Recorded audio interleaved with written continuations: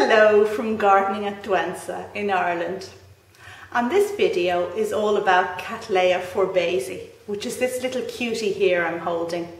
So if you fancy trying a species Cattleya on a windowsill, I think this is your best bet.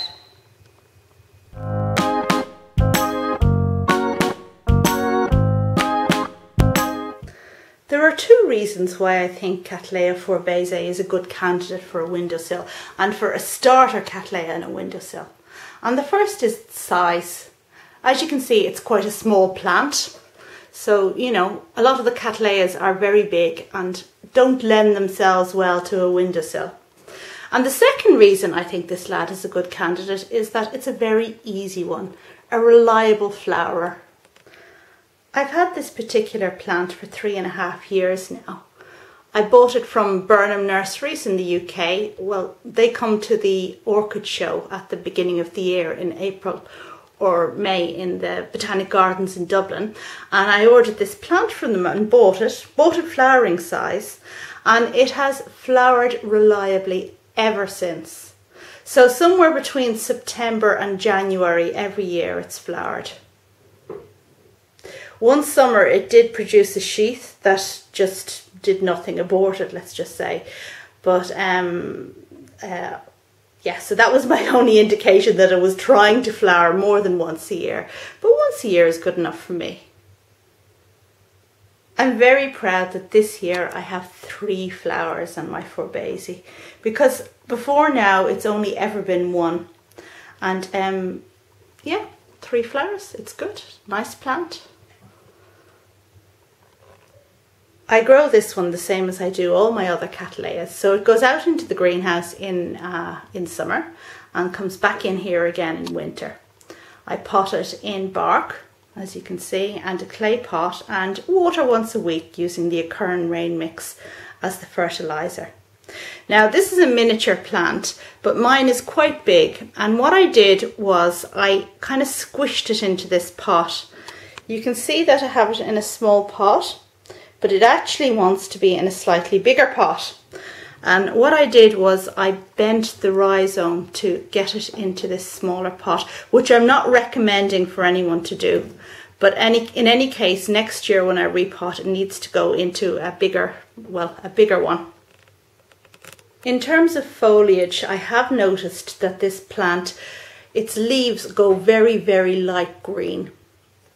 Now it seems, uh, and it does that when you give it extra light. Now it doesn't seem to do the plant any harm um, because mine is all, always flowered, but I'm always a bit wary that perhaps I'm giving it a bit too much light. Perhaps it needs a bit less light than um, other cattleyas.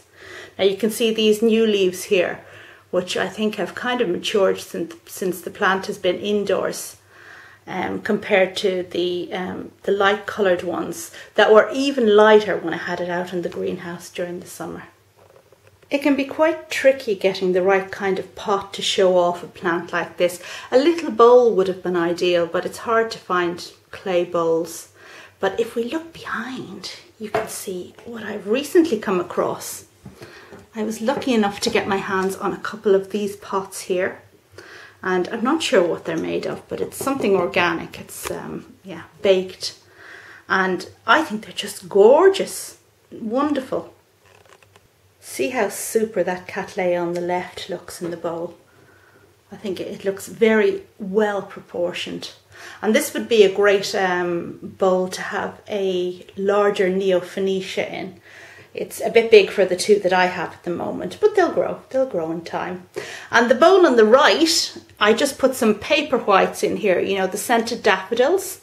And, you know, they're going to scent up the room for Christmas. And then when I, they're finished flowering, I'm going to plant them out in the garden. I'm going to use this bowl next spring to put my Cattleya forbesii in. I think it's going to look super. So that's my Cattleya forbesii in flower, um, a reliable flower and um, I'm just going to bring you in to have a look at the lip. I think the shape of it is just quite amazing. There's, oh we're not getting that in, in focus are we? But um, lovely markings on the inside and if we follow up it's really, you know, it's a funny old thing the way it goes around like that And there's a little hole at the back. Yeah, sweet, doty. Kind of greeny yellowish colour. I've seen Fourbases that are browner, but mine is yellow. And I've seen ones that are much taller than this plant. Check out um, Orchids and a Duchy. I'm going to give a link to Andrea's video above where she shows her lovely Cattleya Forbesii in, in flower. And it's the same species, but it just goes to show that within the species, there's a lot of variation. Okay, thank you very much for watching. I hope you liked this video. And um, maybe you, if you haven't tried a species Cattleya so far and you are a windowsill grower like me, you might check out Cattleya Forbesii next time you come across it. Thanks very much for watching. Bye now.